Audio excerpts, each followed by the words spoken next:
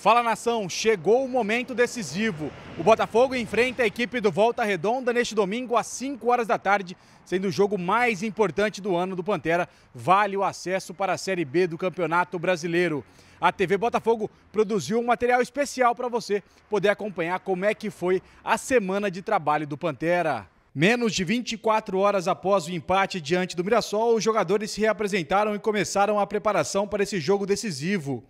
Os atletas que iniciaram a partida fizeram um trabalho regenerativo, enquanto os demais trabalharam no campo de apoio.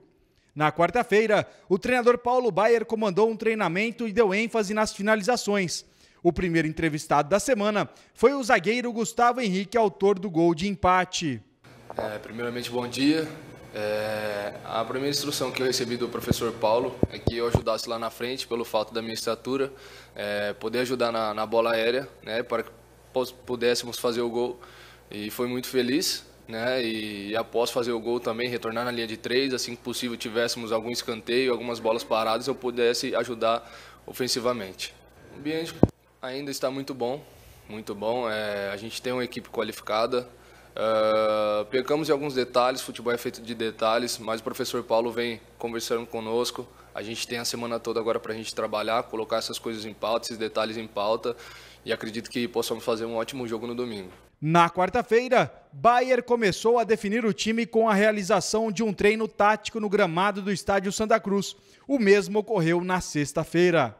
Antes do embarque para o Rio de Janeiro, o volante Tarek, que está à disposição após cumprir suspensão, comentou sobre a decisão deste domingo. Então, na verdade, quando eu cheguei aqui, é, ninguém acreditava que chegaríamos até esse momento. Também não acreditavam que a gente chegaria na final do troféu interior. E nós, no clube todo, é, nos mobilizamos sempre para chegar nesses momentos. E chegou esse momento decisivo.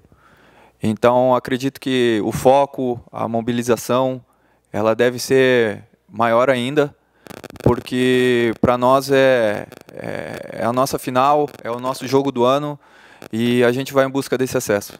No início da noite desta sexta-feira, a equipe embarcou com destino ao Rio de Janeiro. O voo teve escala em Campinas. Neste sábado pela manhã, a equipe viajou rumo à Volta Redonda, onde encerrou a preparação.